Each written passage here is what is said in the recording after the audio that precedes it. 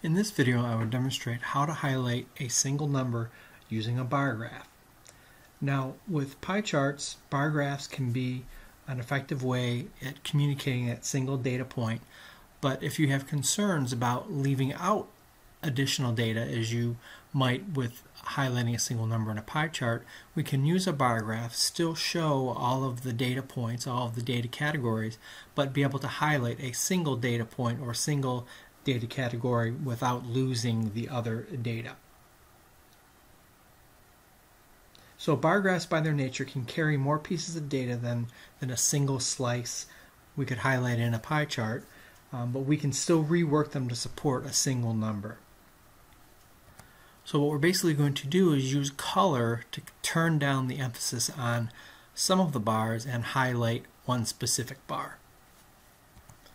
Now humans do a good job at at judging length. So what I want to do is make this graph easy for my audience to see by arranging the bars in a way that makes it easy for the audience to see the relative length of each of the bars, but then again highlight that single single number, that single number using color and using its position within the bar graph.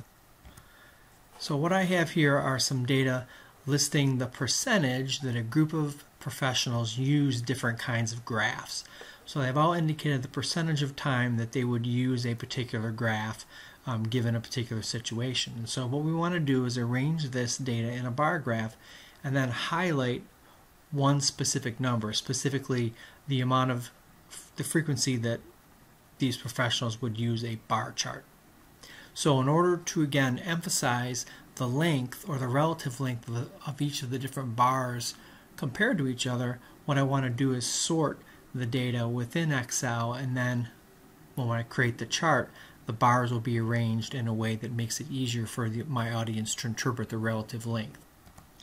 So to do this I want to go uh, to the very right of the home tab of the home tab and click click sort and filter. And I want to click down the drop down arrow. And I want to choose custom sort and this is going to open up a dialog box for us where we'll be able to adjust each of the options to select the column that I want sorted.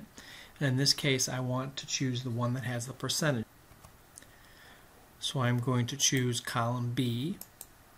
Okay, and then I want to sort it by smallest to largest. Let me go ahead and click OK. Now, it may seem counterintuitive, and by selecting smallest to largest, what will actually happen is that Excel will put the longest bar on the top of my graph and the smallest bar on the bottom. So Excel kind of does the opposite of what we want it to do in this particular case. Okay, now we can go ahead and highlight all of the data that we want to include in our bar graph. And then we're going to go to the Insert menu and we're going to insert a bar chart. So click on that drop down menu and we're going to do a 2D bar chart. So the first option to the left there is the option we're going to choose. As you can see here we have our bar chart arranged now um, from the greatest number, the greatest value, greatest frequency to the lowest frequency. But the number or the bar I want to highlight is going to be bar chart. And so we'll do a little bit of formatting here to kind of make this chart be a, a little a little more um, impactful.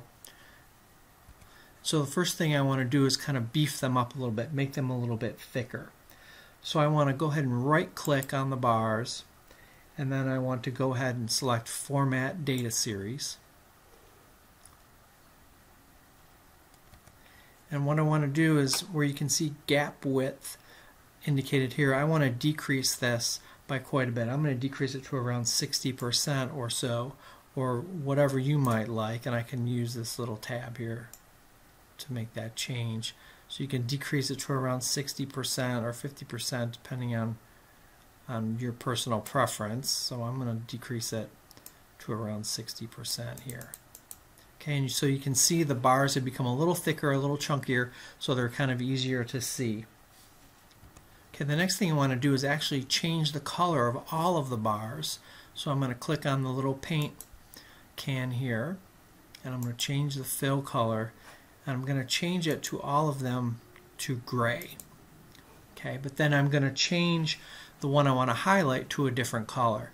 So now I want to highlight and double click on bar chart because that's the one I want to change to highlight. Okay, now I'm going to go back to the, make sure the paint can is highlighted and now I'm going to change the color to that action color of blue that we have used previously. And so now I've got the bar that I want to highlight is now its own color.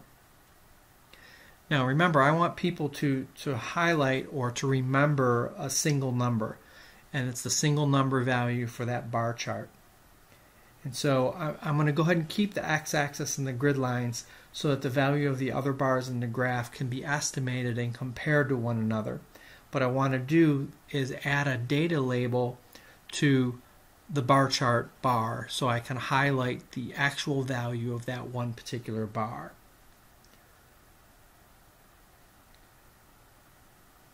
and then that way my single number is precise, isolated, and emphasized. So here's how I will do that. So I'm going to highlight again the bar chart, the one that I'm interested in. I'm going to highlight that. I'm going to double click on it so it's highlighted all by itself. And then I'm going to right click on the bar and I'm going to check add data label. Okay. Now the data label is on the outside as you can see but what I would like to do is move that to the inside uh, of, of the bar so again we can identify that particular number with that particular bar. So click on the data label twice and then right click on it and then select format data label and the dialog box that opens up, look for label position. And then I want to change the radio button from outside end. You can see it is right now outside end. I want to change it to inside end.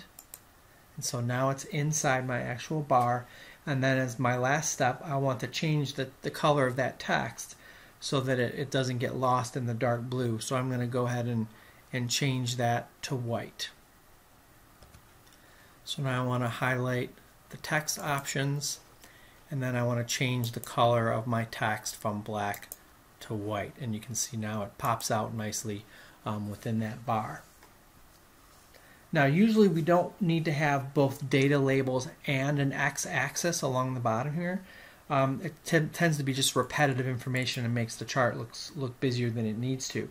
But in this case we are on purpose or intentionally repeating with a data label on this single bar we want to emphasize so we can give it more emphasis and give it more attention and so our audience will focus more on that number and also remember that number.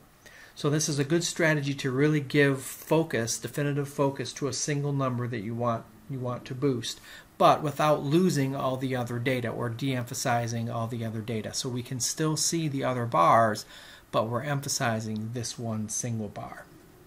So hopefully you found this technique to be useful um, and good luck using this in your own presentations.